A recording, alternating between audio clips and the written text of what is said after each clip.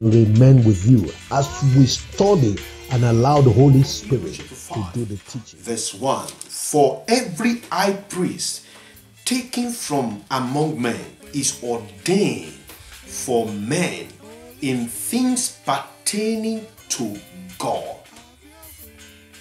that he may offer both gifts and sacrifices for sins.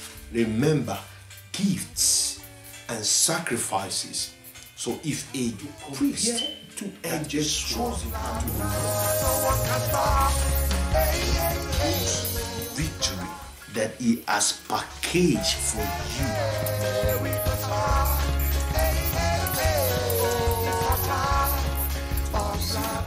This book of Hebrew personally and how it can indeed grow you in your ministry, in your Let spiritual together. life. Let us rub minds together and allow God to be glorified. Jesus Christ Good morning if it is morning time where you are. Good afternoon if it is afternoon time. That planet Earth that the Lord has placed you. Good evening if it is evening time, or good night if you are about to go to bed. This is our Bible reading of the book of Hebrews. We have gone far from chapter 1, 2, 3, 4, and we want to look at chapter 5 and 6 today. I pray that the Lord God, Holy Spirit, our senior partner, our comforter, our teacher, the word of God says it is expedient that I go. So the Holy Spirit has to do the work that needs to do in your life daily as you open up to Him in the name of Jesus. The other time we looked at the book of Hebrews, chapter 4, verse 1 to 16. Today we shall be looking at Hebrews chapter 5 and 6. I hope that you will have the patience as we read this book and discuss it in a bigger context. However, what we do is to read the scripture and allow the Holy Spirit to give you revelation, to incite revelation. We can only contribute or make some comments or some little commentary, but the Holy Ghost, the Holy Spirit, does the teaching.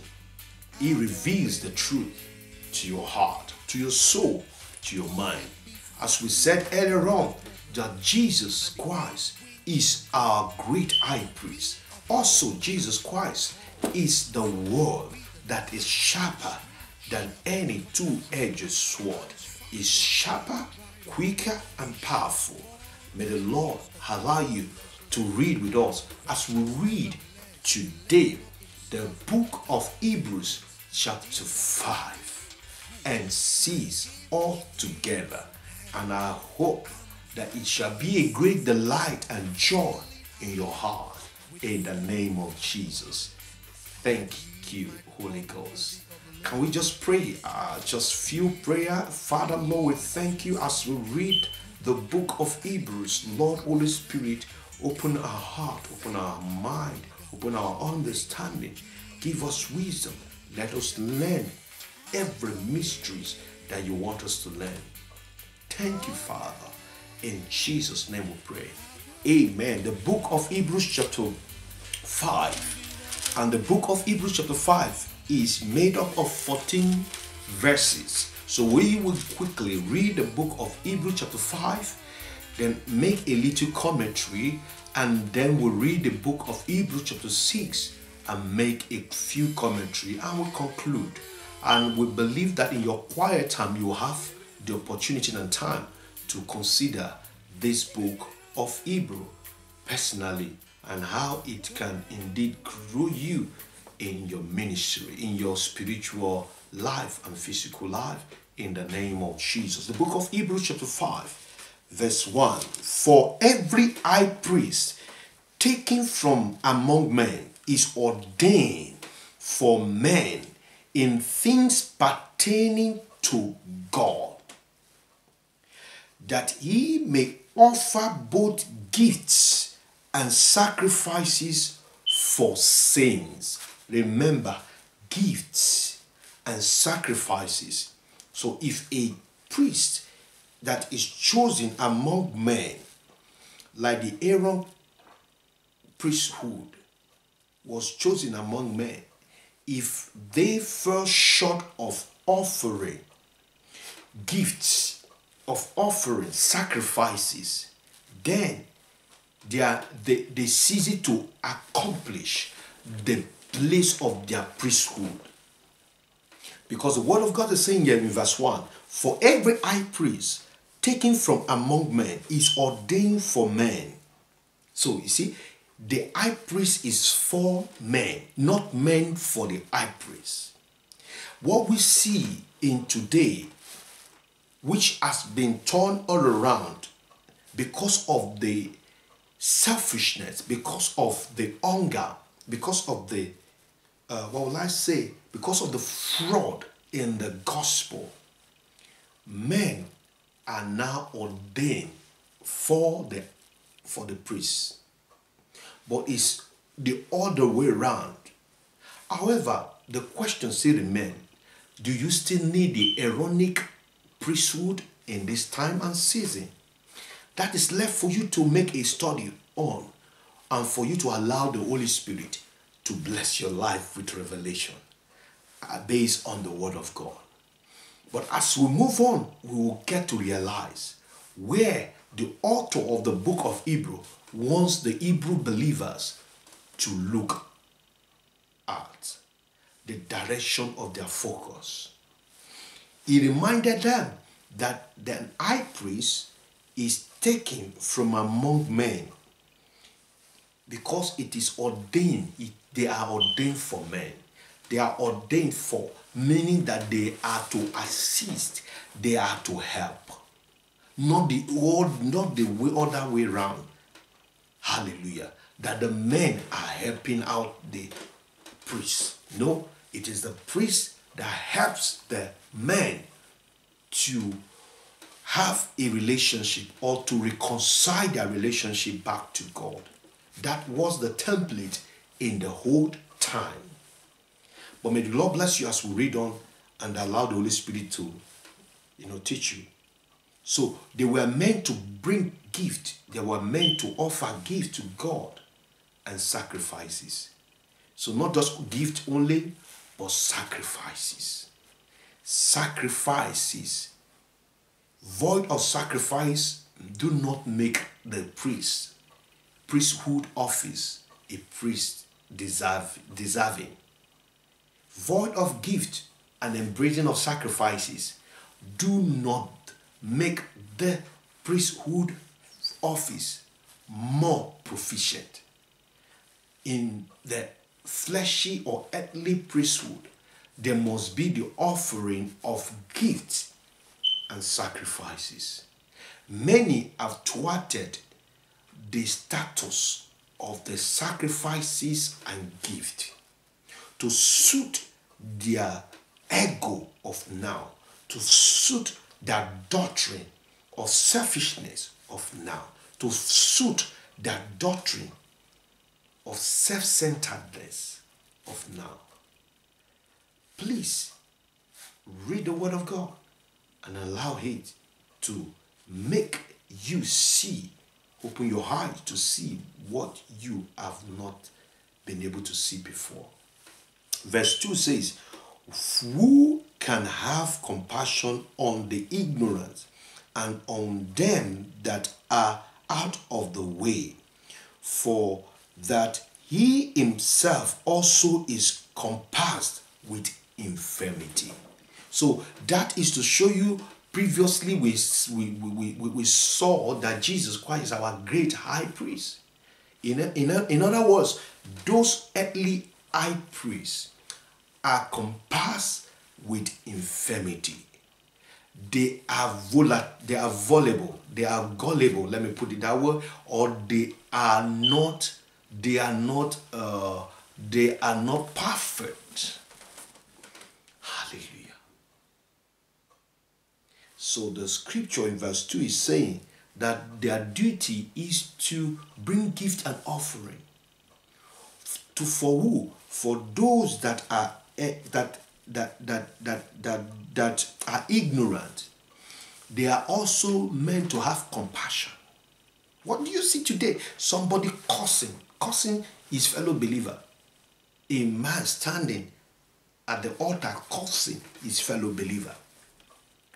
And he calls himself a priest. No, no, no, no, no. That is not what Christ is all about. And that is why the Hebrew author wanted the Hebrew believer to know that there is a difference, there is a liberty, and there is a grace and a, a, a freedom that Christ has introduced, has come to effect. The Word of God says that the high priest must have compassion or is he, he ought to have compassion on the ignorance and on them that are out of the way. But what do you see? The reverse is the case. No compassion. Hallelujah. No, no, no love for those that are out of the way. Verse 3 says, And by the reason thereof he ought as for the people, so also for himself to offer for sins. Hallelujah. Hallelujah. You can see the shortcomings in this structure. That the high priest itself is not just justified, is even equal to the people that he is having compassion on. The same infirmity, the same sin level, the same sin nature. Hallelujah. So he cannot just come out and say he is void of sin, is void of infirmity. But thanks be to the Lord. The word of God says in Hebrews chapter 4, verse 14, it says, Seeing then that we have such an high priest, we have in Christ Jesus an high priest. Praise the Lord. The word of God says that in verse 4 And no man taketh this honor unto himself, but he that is called of God as of Aaron. No man. So those those ones that goes at that and say they are I, they are priests in the name of being pastor, or they are priests in the name of being apostles. No one taketh that honor. The honor is meant to preserve and and and reserve for Aaron. So permit me to say that if you are not from Aaron's lineage, you can't claim it. You cannot. This is the status. This is the status. But thanks God. Thank God. Our high priest nature, our being chosen as an high priest, is not according to the Aaronic or Aaron, Aaron high priesthood lineage. We are high priests. We are priests because Christ has begotten us. He that is the high priest has begotten us to become sons and daughters of high priests. He said, Ye are a chosen generation, a royal high, a royal, a royal priesthood. So we are enjoying the priesthood in Christ, not the priesthood in Aaron. Glory be to God. What a revelation. Let us read on. This is getting interesting. Verse 4 says, And no man taketh this honor unto himself, but he that is called of God as was Aaron. So also Christ glorified not himself to be made an high priest, but he that said unto him, Thou art my son, today have I begotten thee. God gave Aaron the priesthood. The same Father also gave Jesus the priesthood. Hallelujah. What a mystery. You see, the same one that also in verse 5, he said, So also Christ glorified not himself to be made an high priest. It was not Christ that made himself an high priest, it was God that also ordained Aaron, that also ordained Jesus Christ. Because from the right up, you will see that the Hebrew brethren were in a confused state. Perhaps they, they were they were they were doctrines that were flying around uh, on the air, saying, "Oh, oh, no, no, no! Your Jesus was not ordained by God. Our, our, our high priest, our priesthood, was ordained by God.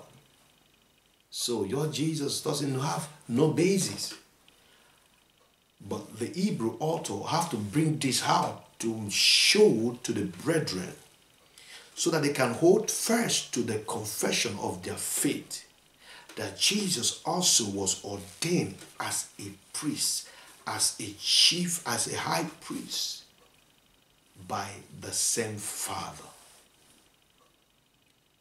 So he that believes in Jesus enjoys the priesthood that lies in Christ Jesus. Not the priesthood that lies in Aaron, but the priesthood that lies in Christ Jesus. This will become more meaningful and faith driven when we look at verse 6, uh, chapter 6 and chapter 7. Expanding more about the priesthood office of Jesus Christ, our Savior. Verse verse 6 says, As he said also in another place, that in the scripture, that is in Psalm 110, verse 4.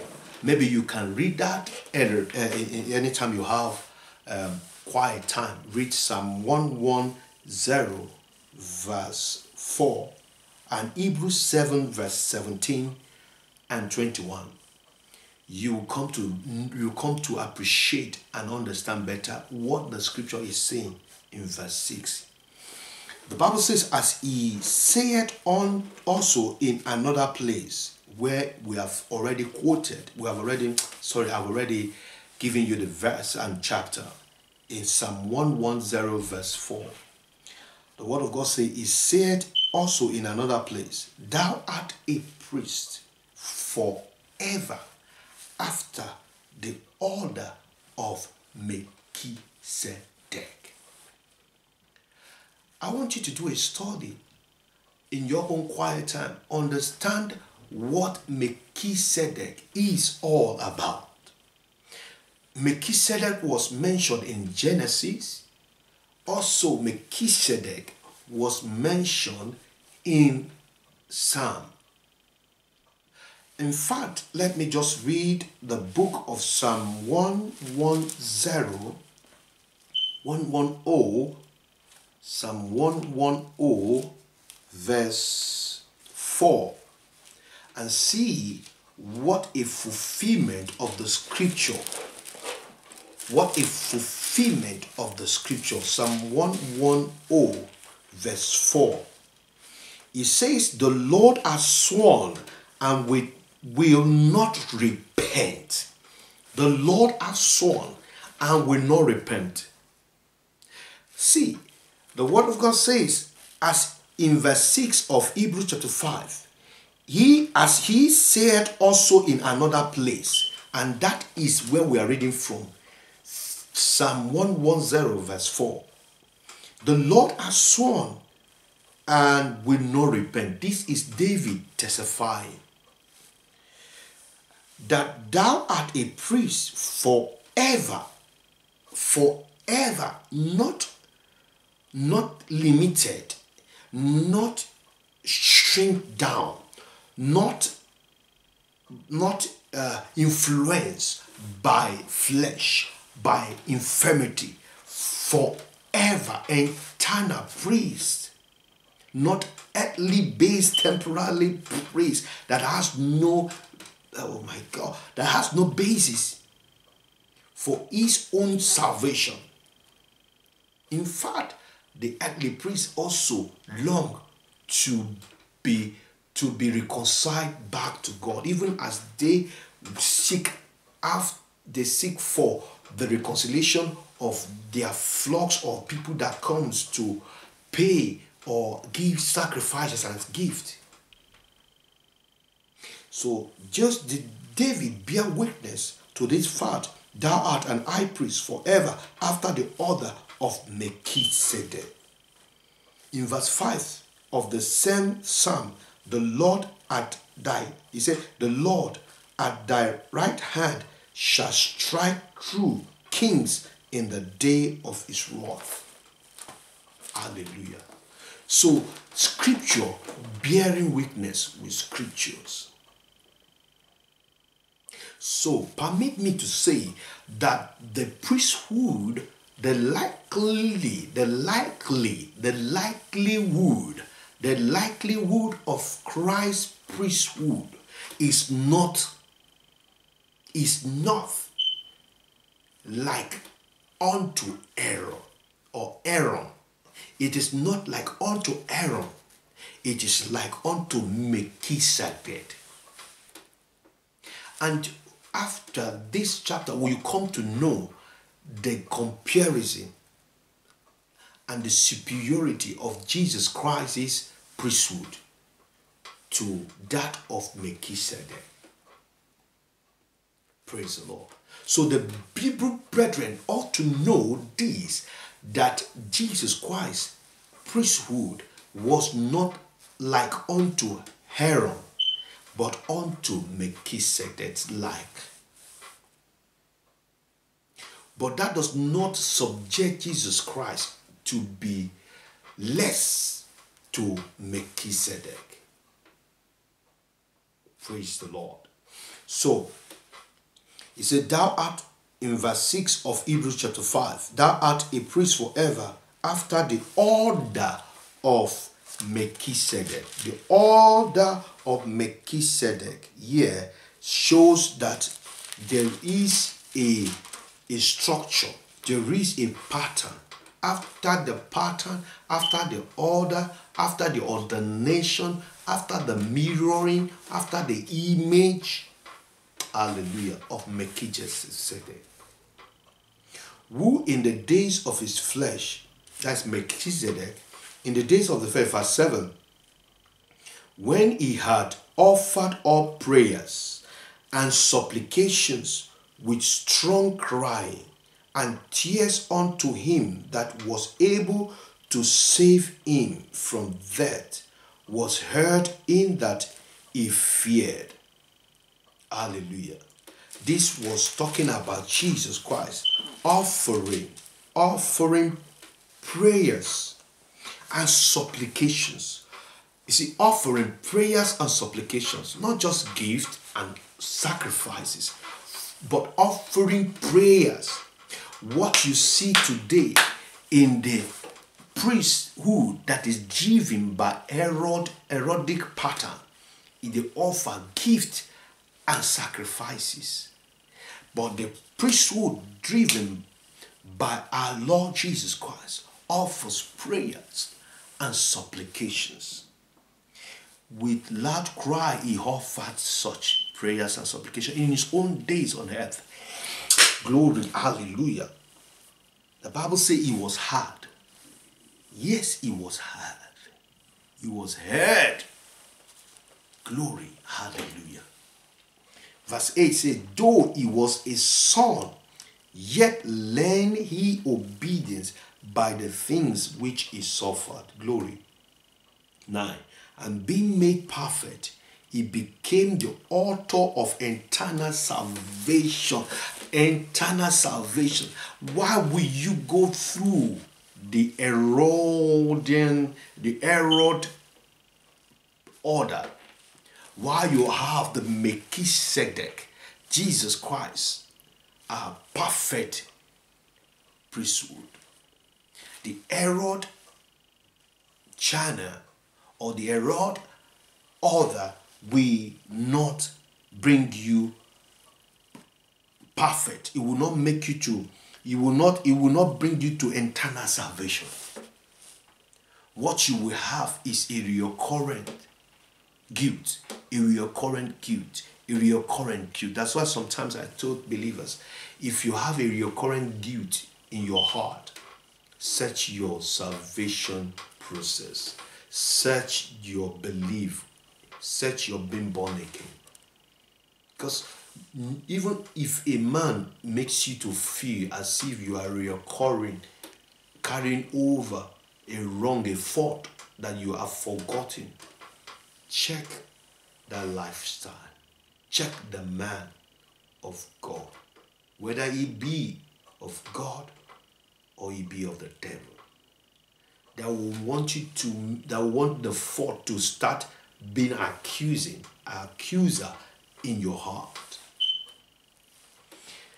So the Bible says in verse 9 of Hebrews chapter 5 and being made perfect, he became the author of eternal salvation unto all them that obey him.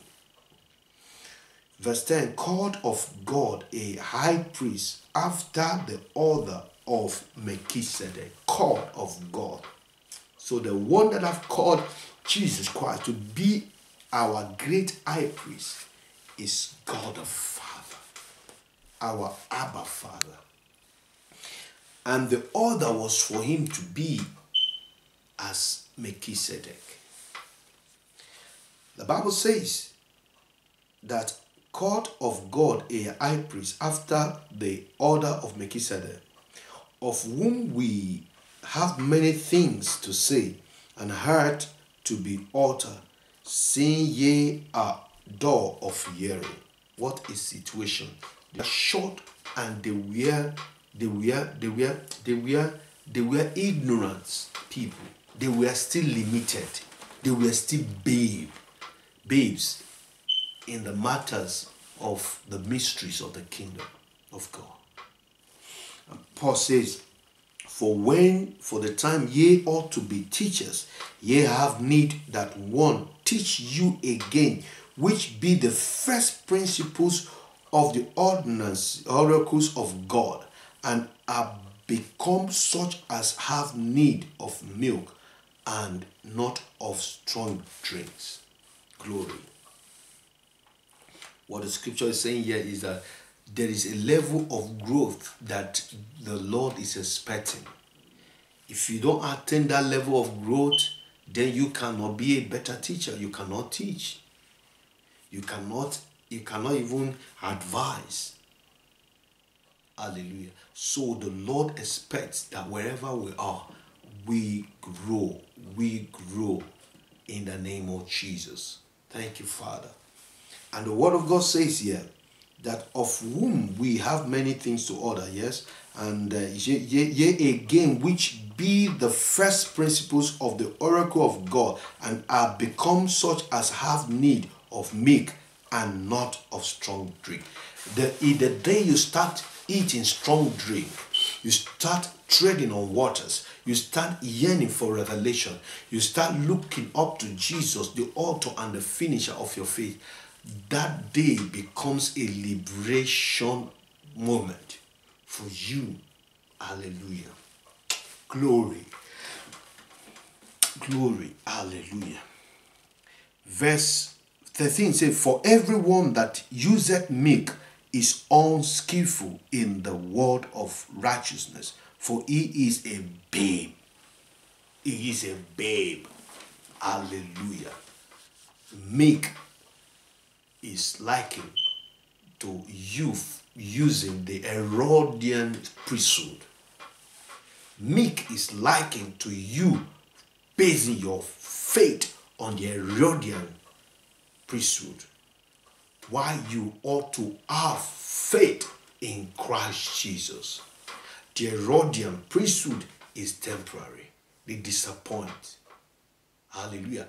But your own faith should lie in the in the in, in, in the in the in the in the in the in the in the substance of God's nature embedded in the priesthood of Christ Jesus.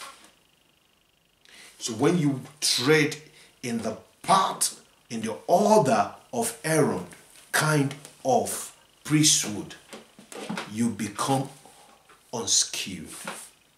You become a babe that still need to drink milk, not the strong eater of meat. Glory be to God. But strong meat belongeth to them that are of full age, even those who by means who by reason of use have their senses exercised to discern both good and evil. Hallelujah. Can you see what a great opportunity you have gotten? A great privilege you have gotten. As a child of God, a great involvement in you and Amaka. Thank